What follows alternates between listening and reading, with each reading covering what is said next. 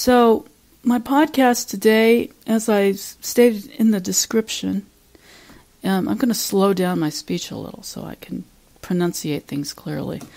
Um, as I stated in the description, is about the cloud photography that I took yesterday on March 26, 2020, where the clouds were unusually definitive and presenting me with all kinds of interesting de- depictions of uh, what formed there that I interpreted based on the totality, as I said before, the totality of the clouds presented to me, what they're saying what is being said through the clouds to me, whether it's God trying to communicate something to me, um, because it's not my just sitting there and inventing things based on an artistic eye. It's actually presenting itself and morphing itself before I even look, try to figure out what, what it is. I'm saying that I take film rolls of things to show how these things form.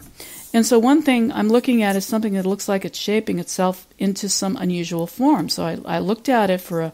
I have my coffee table now next to the window, and I took a look at it for a little while, and realized this thing seems to be turning into like an alligator or something. And so it has a long body, you know. It and, and but it, the most important thing is the face and the um, the snout, and that its jaws are clearly open, and then I could actually see teeth and then I could see a tongue. And here we go again you know it starts forming and then the next thing I know it starts opening its eyes. Uh, yeah yeah and then one eye and then two eyes. I'm serious like it came alive as I was looking at it. I'm going what is this about and then I looked as it developed and the, the clouds were kind of like showing a different texture than you, you would normally see in clouds it looked like it was being carved into some kind of white rock substance. Uh, it didn't look like clouds. After a while, it kind of looked like it was being carved out to me, and especially the face area. And then, as I looked to the right, because I wanted to see the totality of what was being communicated to me through this cloud, um, and then it looked to me like something had formed uh, on its lower neck that was riding it. Okay, questionable. But then that the other depiction of that same development was taken earlier. I noticed, I think earlier, that showed um, something that was on its neck that had um, evolved into something else. You know that you couldn't really see for sure, but I thought that it was riding on its lower neck. So then in the uh, the picture of its earlier formation over the bay and less to the left of my um, apartment window, I saw what was there before, and I have a picture of that, and that is some kind of depiction of somebody.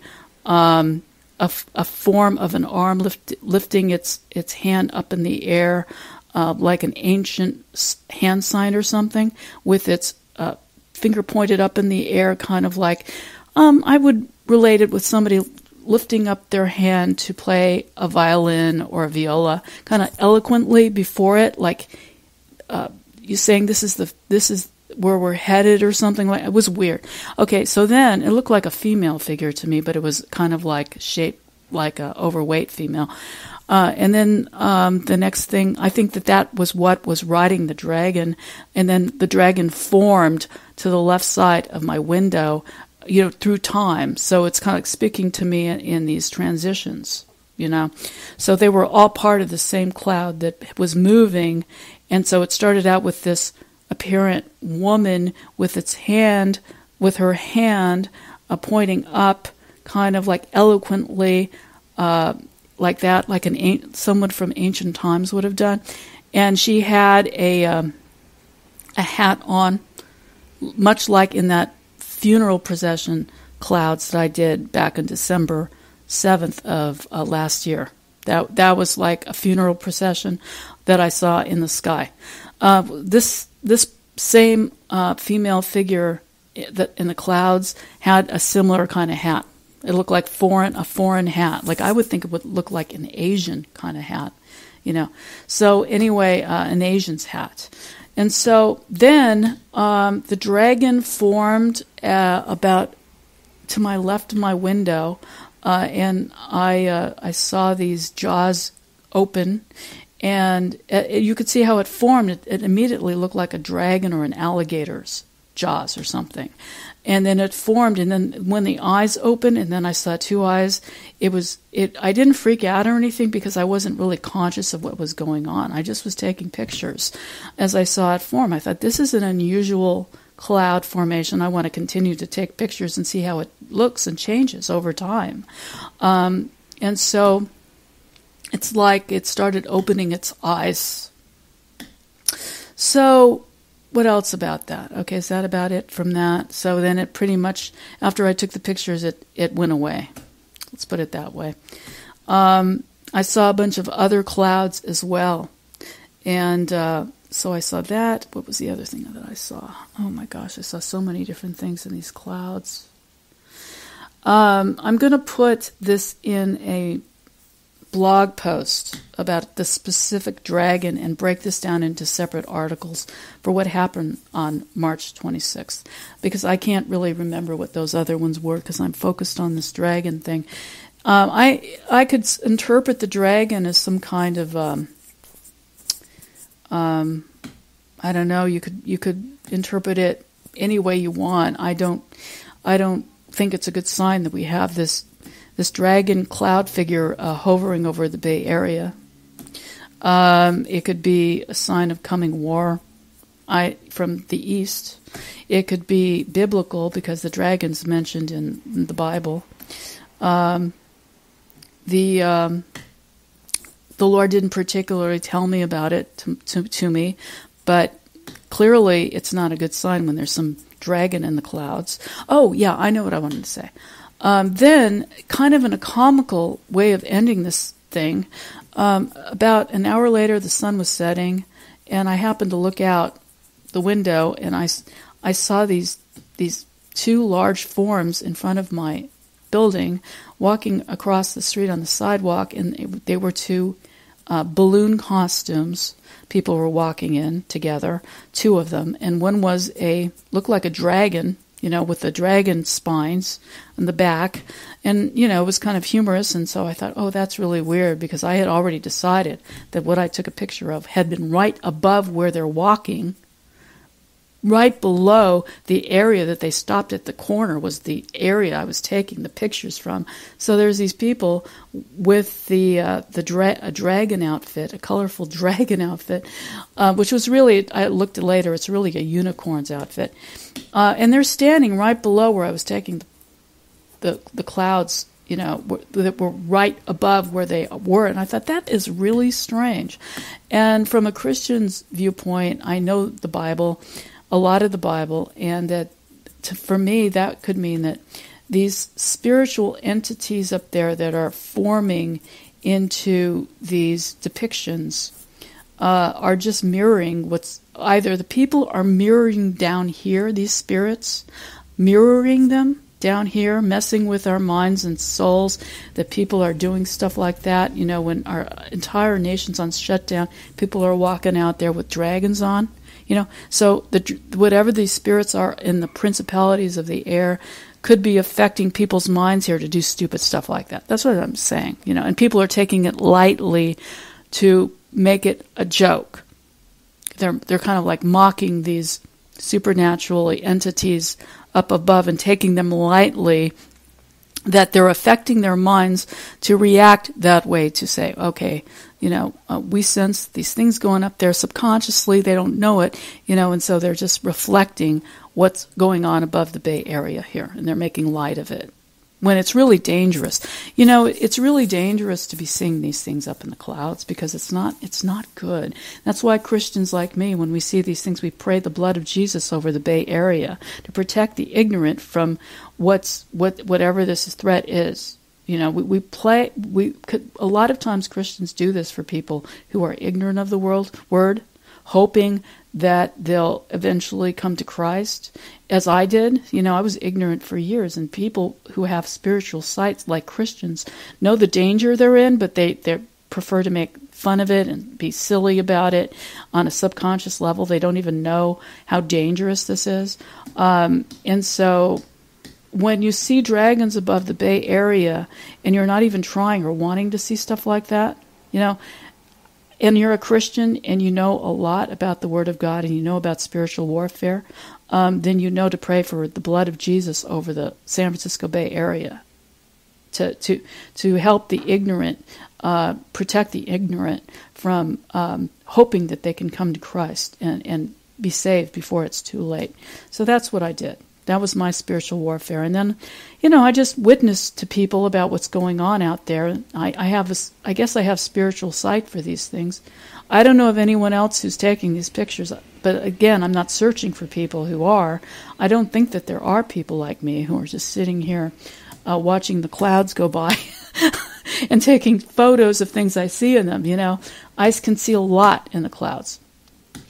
Um, then the question is, is this coming from me though? Is it, does this have anything to do with me? And I say, no, I'm just an observer and I'm a witness. And for whatever reason, God's given me the ability to do this and put me in this position uh, be, to be the only one that I know of doing this. You know, if, if other people were doing this, I could say, well, I know I'm not the only one who just got that shot.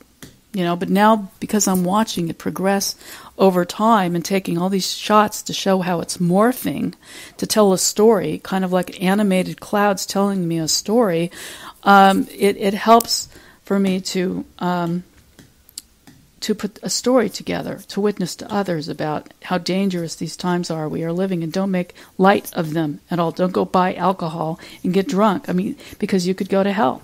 Basically, you know, because God is testing us. You know, He can't accept sinners into hell, unrepentant sinners into heaven. Sorry, I didn't mean hell.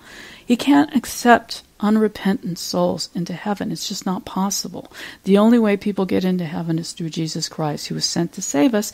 And his instruction manual is the Word of God, the New Testament, New Covenant, especially. Uh, and so um, he's the only way to life and, and uh, redemption. And so we Christians are working to help others get into heaven as well through knowledge of his word and awareness that, that there are other things going on behind the veil of what our eyes see. There's other things going on, and we're in grave danger now. We could have, like I say, the dragon could also be con- construed as the Chinese uh, dragon planning things, the Chinese uh, from across the world planning things to uh, to send to attack us here. I mean, there's all kinds of things that can be interpreted. Uh, of course, China doesn't like what the aggression of, of Trump, and maybe they're planning something. You know, they're not sending their ships over here anymore. We're getting their dragons in our clouds. You know, and and I saw uh, a funeral procession of what looked like a foreign people or an ancient people up in the clouds on December seventh of last year, and I understand these are the, the areas of the water on the Embarcadero where the Chinese bring in their freight and stuff. The Chinese, uh, you know, bring in their, their goods into our ports and everything. So instead of, um, so I, I see these these things in the air that look like like funeral processions, and I take pictures of them. And then I learned that that was a month after the, the coronavirus started uh, killing people in China, if that's true. That's about a month after. So here I'm seeing this funeral procession coming through the Embarcadero Water Bay area you know, like I used to watch the ships come in. Um, and so the freight ships come in there. And now we're getting these clouds showing uh, like there's a funeral procession going on in the sky. Just saying. So now I'm seeing dragons here uh, that look like typical dragons of the Chinese um, New Year, only without the color. I mean, it's only the, the neck and the and the and the face that I saw. I didn't see the body, but the, there was a there was a figure riding it, and I could see. But then I looked back in time to the earlier photo, and I could see that there was a woman with a hat on, uh, with her hand uh, kind of up in the air, about to play the violin or something. You know, her right her right hand. no, it was actually it was the left hand. Looks like she was about to pick up the violin and play it. Anyway, so yeah, that's my podcast for the day. And I'm not I'm not drunk. I'm not smoking pot. I don't drink. I haven't drank alcohol in a long time, seven years now. I have no intentions to drink alcohol, uh, and um, occasionally I have CBD oil just to relax my nerves. I mean, these are difficult times, so. Um, I'm not hallucinating these things because I, I can take pictures of them and show people how they progress in time, and I can show that these were all taken in my film roll on a certain date, you know, and I haven't done anything to these clouds to manipulate them, except on occasion I use the magnifying glass tool and just to make them larger so people can see them. So that's my podcast for the day, and uh, I feel a little groggy. Uh, and it's hard. It's for all of us to live. I don't know, like I say, how much of this is propaganda of our government and how much is um, how much is real. I don't know. Like I say, I'm going to say I don't know, and I'll do my best to, uh, you know, agree to conform to a certain amount of precaution. But I'm not going to be enslaving myself to a lie either. And we should resist all lies of the devil that wants to turn this into tyranny and hunt us down with drones to take our temperature, things like that. So um, I'm praying and hope all of you stay well and stay out of trouble.